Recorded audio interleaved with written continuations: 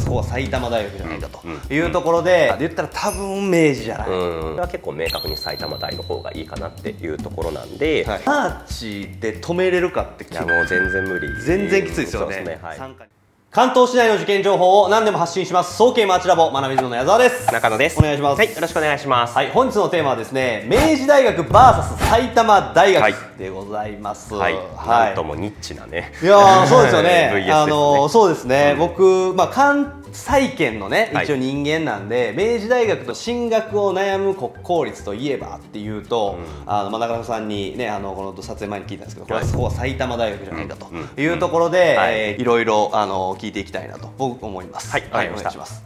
それではですねこの動画は、まあ、明治とね埼玉大学をさまざまな、ね、観点から比較していく動画なんですけれども、まあ、そもそもね明治とどの国立を比較するか、はい。その段階から結構悩んだんですよね、まあ、ディレクターの方とも相談して、そうですね、僕も全然わからない、うん。その妥当な関東圏の国公立がっていうイメージでした。そうですよね、まあちょっと最初にちょっと話題で上がったのが明治と横浜国立 VS したらどうだろうと、はい。でもそれはさすがに横国じゃないかと、はい。僕もそう思いますね。ん。横国、はい明治選ぶ生徒はあんまりいないんじゃないかと、はい。で明治と東京都立でも、はい。まあかなりの生徒が東京都立選ぶんではないかなと、あとは千葉大千葉大でもかなり千葉大選ぶかなはい。とい。うところで。だからリアルに進学先を悩むライン。はやっぱり埼玉大、僕個人的にも生徒に、まあ、結局明治と埼玉大うちも受かりましたと、はい。って言われてどっちがいいですかって聞かれてなんか好きな方を選んだ方がいいっていうぐらいの。でさっきの言ってた、うん。えー横国とか東京都立とか千葉大だったら、うん。あ国公立の方へ選んどきなさい。っていうふうに僕は多分いいと思いますね。すね。はい、はい。はい。うん。ですね。じゃあちょっとですね、そういう前提からい。ろんな観点から比べていきたいんですけど、はい。まずまあ入試形態に関しましては、はまあ明治は基本的に文系理系ともに基本は3教科入試ということですね。で埼玉大学は共通テストがね来年から情報が加わって、はい。まあ5教科7科目から6教科8科目とい。うところで、まあ二次試験はね学部学科によって様々なんですけど、まあ1教科だったりとか面接とかあとは小論文とか、まあもしくは二次試験重ないで全部共通テストで判断するっていう学部学科もあるんですね。うんうん。で共通テストの認知の配分も学部学科によって様々なんですけど大体30%前後が多いですかね、はい。だからまあ埼玉大学はまあ他の地方国立と同じようにかなり共通テストの比重が高いかなというところです、で、まあ、入試形態で見たら埼玉大に限った話じゃないですけどやっぱり国立のね来年度からやっぱり情報が入ったこの多教科、まあ6教科8科目とかはむちゃくちゃ大変なんで、入試難易度うんそのどっちの方が準備が大変かって言ったら僕は結構これは埼玉大寄りなんじゃないかなっていう気はしますね。はい。でそして何パーセントですか？70%ぐらいか。そうですね。70%うん絶妙だうんな。そうですね。じゃあまあでもい嫌かな。どっちが嫌か。自分でやるのどっちが嫌かって言ったら、うん。やっぱ絞りたい僕は絞りたい派なんで6教科8科目の方が嫌ですね。そうですね。はい。うん、そうですね。そうですね。はい。で、その次にですね、倍率の話をしますと、明治が平均4倍ぐらいで、はい。まあ埼玉大がですね平均3倍弱ぐらいですかね。はい。理系の方が埼玉大はやっぱ若干高いですね。はい。そして偏差値で言うのであれば、明治は平均が60から62.5ほどの学部学科が多くて、はい。埼玉大が先ほどね平沢さんがおっしゃってくれたように共通テストボーダーがおよそ70%、うん。で平均的な二次の偏差値が52.5ですね、はい。偏差値で言ったら10ぐらいね差があるように見えるんですが国立の二次の偏差値は私立に比べて、まあ、だいぶね低くて安いんで、まあ、はい。大体プラス5ぐらいするのが相場かなと思いますので、まあ、プラス5したとしてもちょっとこれ偏差値に関しては明治の方が上かなってい。うところですね、はい。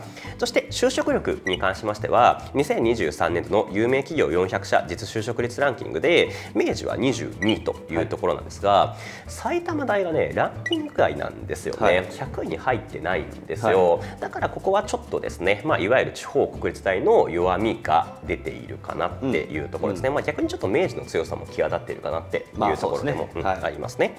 そして4年間の学費に関しては明治はね実はその次第の中でも結構安い方で、はい。4年間で文系ですとねおよそ470万ぐらい、はい。そして埼玉大は、まあ、他の国立と同じように文系でね大体240万ぐらいなんですね、まあ、倍ぐらい差があるというところです、で、まあ、大体ねここまでバーっとねいろんなですね比較をしていったんですけれども、はい、まあ、さらにちょっとですね語っていきますと、まあ、最初にまた入学難易度の話に戻しますと、はい、やっぱりね矢沢さんがおっしゃったように僕もやっぱり70%共テで6教科8科目って大変ですよ。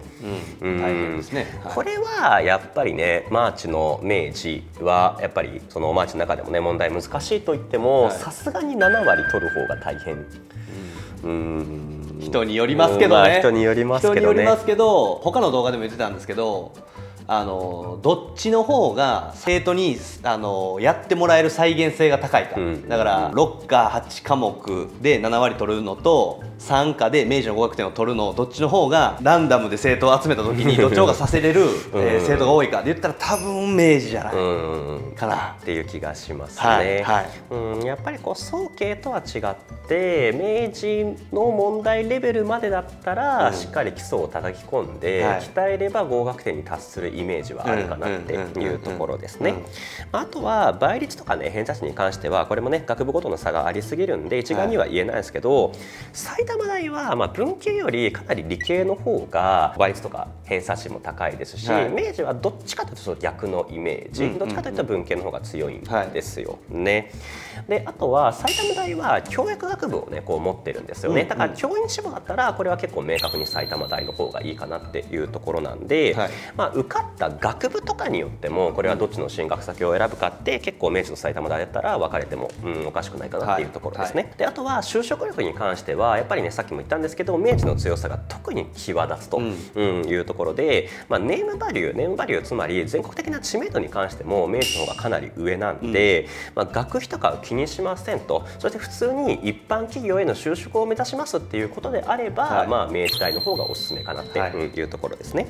であとは、まあ、私立文系に洗顔して明治を目指すとマーチの他の大学の併願とかあとはその下の生成名学とか日東駒線とかの入試にもこう生きていくんですよね、はい、ただやっぱり埼玉大とかはかなり幅広い科目のね勉強が必要なんで失敗した時のリスクっていうのは次第洗顔で、まあ、明治を第一志望とした時よりも当然かなり高いかなというところなんで。そうですね、うん、これ、はい、あの6教科8科目でその7割取れたら埼玉大出せるじゃないですか。そうですね。取れなかった、はい、で次第行かないといけない。次第の参加にしないといけないってなった時に、はい、7割弱ぐらいしか取れない生徒が、はい、じゃあどこで滑り止まるかって、うん、マーチで止めれるかっていやもう全然無理。全然きついですよね。ね、はい、参加にそこから絞共通テスト明けから絞っても。うんうん、生成明学日東駒線日東駒線頑張って。まあ、そうですね。だから仮に7割届かなくて65%ですとなって、はい、まあ、かなりやっぱりマーチに届きづらいんで、まあ、そうですね。生成目学もちょっときつい色やっぱりちょっと日東駒線ぐらいかなっていうところですね。ね。得意3科目を選んでもそうなるかなというふうな感じですね。そうですね。だかなりリスク高くてやっぱりせっかく6教科8科目勉強したのに、まあ、最終進学先は日東駒線とか、うん、もしくは最悪そこも受からないっていうのは、まあ、かなり悲しいですし、リスクは非常に高いかなっていうところなんで、まあ、学費の問題をちょっと抜きにしますと。でせっかく関東圏に住んでいるのであれば私立に絞って例えばマーチを第一志望とかにした方がリスクが低いかなって。リスクが低いですね、うん。はい、そういうところですかね、はい、はい、金銭的なリスクが上がる。けどもそ、ね,、れ以外のリスクは明治の方が低いというそうですね。ですね、うん、っていうところですかね、はい、はい、まあ、かなりねちょっといろいろ議論があると思いますし、はい、いやいや全然違うだろっていう人はぜひちょっとねコメントは教えてほしいですね、はい、自分ならこっちに行くとか、うん、いやいや明治とリアルに悩むのはこの国立だろうみたいな意見があればねぜひこれはちょっとコメントお待ちしております。とい。うところです、はい、お願いします。現在学びズムではですねあの LINE に登録していただくとマーチバイブル総計バイブルといってですね各大学各各学部によって傾向と対策が違うんですけどその傾向と対策が明確に、え書かれている統計バイブルマーチバイブルっていうのをプレゼントしています。あの LINE 登録者限定で無料でプレゼントしておりますので、え登録は動画の概要欄の URL からお願いします。はい、えー、それでは今回の動画はここまでにしましょう。ありがとうございました。ありがとうございました。動画を見てくれてありがとう。マナビズムの公式 LINE では早慶マーチの各大学の傾向と対策がわかる早慶バイブルマーチバイブルっていうのをプレゼントしています早慶マーチ志望の方は概要欄の URL からぜひ LINE 登録をお願いします。